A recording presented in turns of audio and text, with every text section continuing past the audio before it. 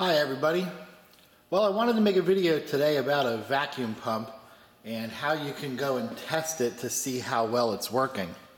So what I have here is a CPS ProSet vacuum pump. Uh, it's a couple years old, but it's actually in pretty good shape.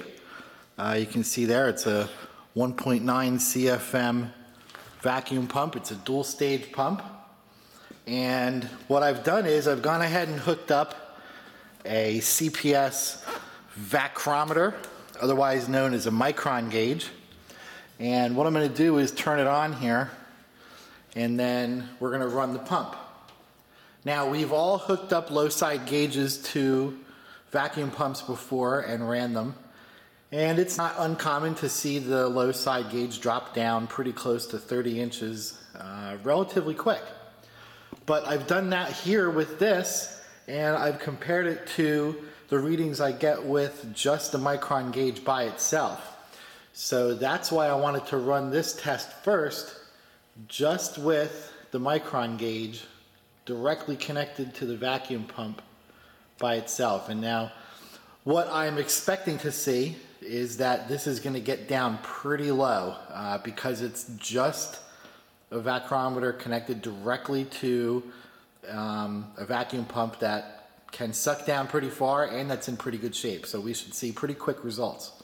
And we should also see pretty good results. So we'll time it with the clock and see how long it takes and run the pump and see what we can find. So here goes. You can see the vacrometer starts out not showing anything.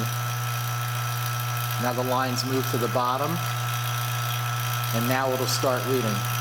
And the reason for that is because the vacrometer doesn't work until the vacuum reading gets down to right around 29 inches of vacuum because that's really all that this gauge reads is that last inch. A regular set of manifold gauges like your low side gauge that has a vacuum scale can read between zero and about 28 inches of vacuum.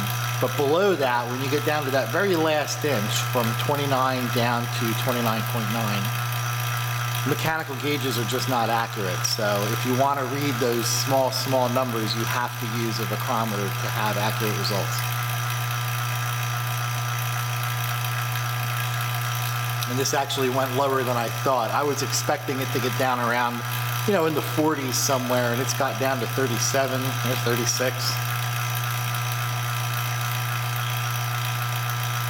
And then this has different units. It reads microns, regular old inches of mercury.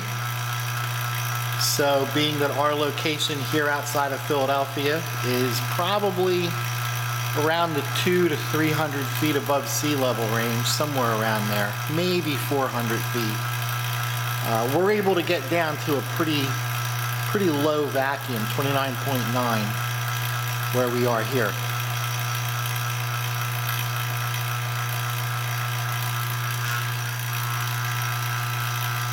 That's the reading in millibars.